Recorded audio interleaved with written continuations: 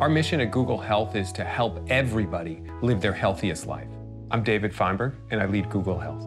Google has been in health for a long time. When you think about it, many of our searches are around healthcare. When you get a diagnosis, a medication, a new symptom, people go to Google.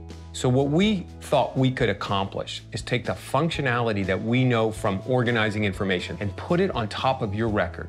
So, when your doctor is looking for something, you know, did you have that Pneumovax?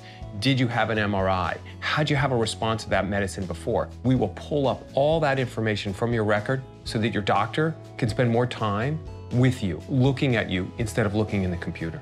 Now, everybody who spent time looking at healthcare data knows it's incredibly complex. Why? Because healthcare is incredibly complex. Patient's information is scattered across multiple different silos. So, how do you bring those, connect these dots from the patient standpoint? Doctors face this every day. Many physicians practice in more than just a single system.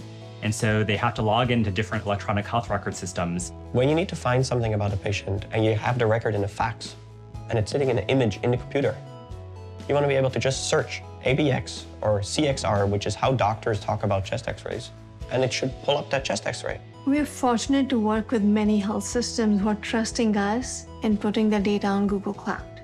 At Google, we generally design and build products for billions of people.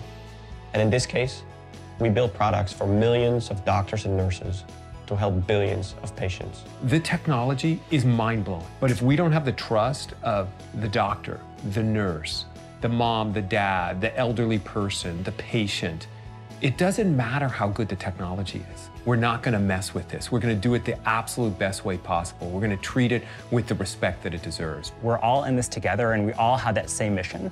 We're trying to empower doctors to be the best versions of themselves. To me, it's making communities and families healthy so they don't have to think about healthcare.